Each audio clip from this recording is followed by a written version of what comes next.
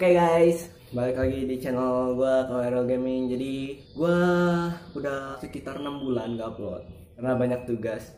Dan hari ini gue juga bakal upload satu video dan itu buat tugas. Jadi kita langsung aja ke tugas gue daripada lama-lama. Gue juga mau sekolah bentar lagi. Ini gue record jam 9, oke? We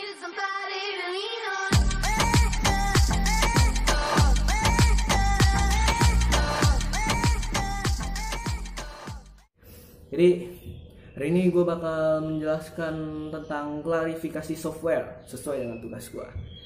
Di klarifikasi software itu dibagi menjadi lima bagian. Yang pertama itu ada sistem operasi, yang kedua ada program utility, yang ketiga ada program aplikasi, yang keempat ada program paket, dan yang kelima ada compiler. Compiler, compiler, gue nggak tahu gimana bacanya. Yang penting lanjut. Yang pertama,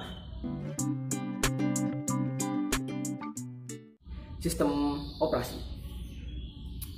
Sistem operasi identik dengan software yang difungsikan untuk mengaktifkan perangkat-perangkat komputer. Contoh dari sistem operasi itu apa? Yaitu ada kayak DOS, Unix, Linux, Windows, eh, dan sebagainya.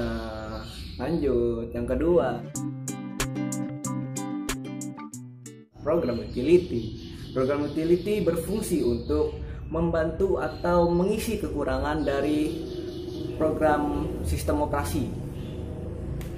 Kenapa disebut mengisi? Karena dia berfungsi untuk melengkapi eh, hal-hal yang kurang seperti kayak menambahkan mods gitulah. Pokoknya contoh dari program utility itu kayak Norton utility, ada Scandix, ada PC Tools dan lain-lain seperti itu. Lanjut nomor 3 program aplikasi. Program aplikasi itu dibuat sesuai dengan permintaan sebuah lembaga atau sebuah perusahaan untuk kebutuhannya. Ya, contohnya apa? Kayak contohnya itu jenis-jenis program aplikasi itu kayak GL. Terus M MYOB, MYOB.